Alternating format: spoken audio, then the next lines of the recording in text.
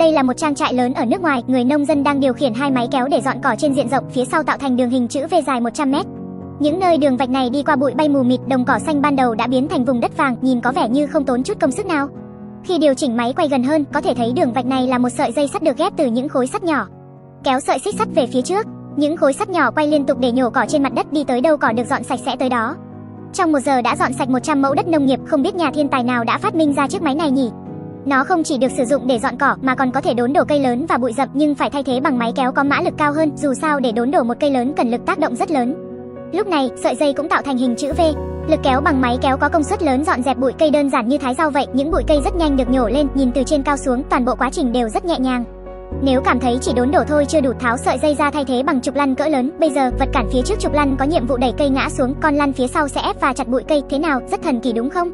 Cát không nắm được thì khiến chúng bay lên, gốc cây không thể nhổ thì nghiền nát nó, đây là mục đích phát minh ra máy mài gốc cây này. Hiện nay, việc chặt cây diễn ra rất dễ dàng, nhưng cây bị chặt đổ sẽ để lại phần gốc dưới đất rất khó xử lý, dù có buộc sợi dây xích phía sau xe rồi nhấn ga con xe bị kéo làm đôi mà gốc cây vẫn không nhằm nhò gì.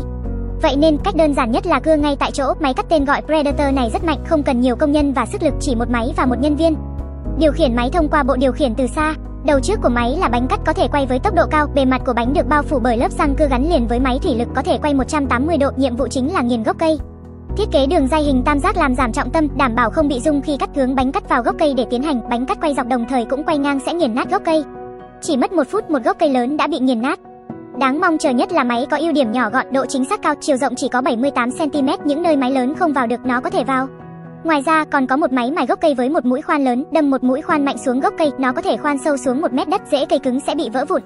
Thế nào, rất thần kỳ đúng không? Giữ máy cưa vào củi đã đóng gói và cắt nó, rời ngay thành hai phần, dùng một đường cắt hàng chục cây củi một lúc bạn đã từng thấy chưa? Những que củi cắt ra không chỉ có kích thước bằng nhau mà còn dễ dàng vận chuyển và đốt cháy. Hiệu quả cắt ra khá tốt nhưng quá trình cắt rất phí sức, công nhân cần giữ máy cưa trong thời gian dài. Dựa theo nguyên tắc dùng máy móc thay thế sức người, phát minh ra máy cưa bó gỗ, dùng cánh tay robot thay thế cánh tay con người giữ lưỡi cưa hướng lên trên. Trong nháy mắt cắt ra được mấy chục que củi có độ dài như nhau. Nguyên lý làm việc rất đơn giản, trước đó phải để bó gỗ vào trong máy. Trên máy có hai thiết bị hình bán nguyệt, đến lúc đó điều khiển thiết bị bên dưới bám chặt vào mặt sau bó củi, thiết bị bên trên sẽ kẹp xuống. Sau đó di chuyển lên, bó củi sẽ được đặt vào trong, lưỡi cưa được gắn ở một bên thiết bị hình bán nguyệt, bên còn lại là tấm đẩy, nó dựa vào dây xích để điều khiển chuyển động. Cứ như vậy, quá trình cắt sẽ đơn giản hơn, tấm đẩy đẩy bó củi về bên có lưỡi cưa, phần được đẩy ra là độ dài củi cần cắt. Bạn có thể viết thước đo lên thiết bị hình bán nguyệt giữ cho cưa cắt liên tục tấm đẩy liên tục đẩy gỗ ra ngoài. Những cây củi dài ban đầu sẽ bị cắt thành những que gỗ có kích thước bằng nhau.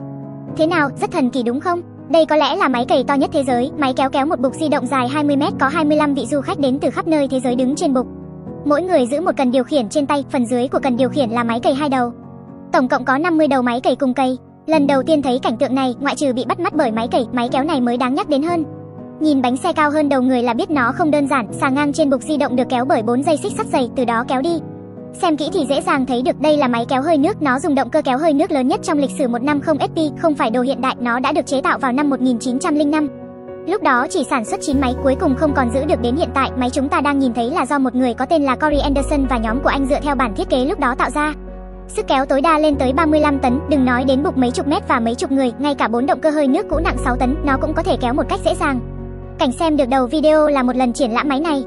Với tốc độ cày 10 km/h, một lần có thể cày được 20 mét. Thế nào, rất thần kỳ đúng không? Đập một búa lớn, những dây xích mất kiểm soát rơi xuống nhanh chóng. Đây là cảnh con tàu khi neo đậu, mỏ neo nặng hàng chục tấn sẽ bị dây xích kéo chìm xuống biển. Vì lực kéo mạnh nên dây xích không ổn định khi hạ xuống, kiểm soát tốt còn ổn, nếu kiểm soát không tốt thiết bị thả sẽ bị kéo ra lừa. Điều đáng được nhắc tới là cái thứ này không phải cứ ném được xuống biển là mọi thứ sẽ ổn. Xích và mỏ neo như phanh của tàu, thường bị đắm mình trong biển, thời gian ở trong nước lúc dài lúc ngắn. Vì nước biển có tính ăn mòn rất cao nên sẽ xuất hiện một dây xích sáng bóng mới ở dưới, nó sẽ bị dỉ xét khi nhấc lên lần nữa. Ngoài ra nó sẽ thành nơi sinh sống của nhiều loài tảo, do đó ảnh hưởng đến quá trình rút và nhả mỏ neo thông thường. Từ đó con người phải rửa sạch dây xích định kỳ, có hai cách rửa. Một cách là lúc xích ngâm trong nước, thợ lặn chuyên nghiệp sẽ lặn xuống nước bằng súng nước áp lực cao, rửa sạch sinh vật bám trên dây xích.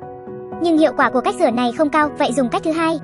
Trong lúc kéo xích, nhân viên tàu sẽ treo máy phun nước áp lực cao này lên dây xích, nó có thể xoay và phun nước áp lực cao, rửa sạch mọi ngóc ngách của xích, thu xong dây xích thì cũng rửa xong. Thế nào, có phải rất thần kỳ không? Video đến đây là hết rồi. Lưu ý, nội dung trong video đã được thêm thắt biến tấu một số chi tiết để lôi cuốn hơn. Đừng quên like và follow kênh nhé. Hẹn gặp lại các bạn ở những video tiếp theo.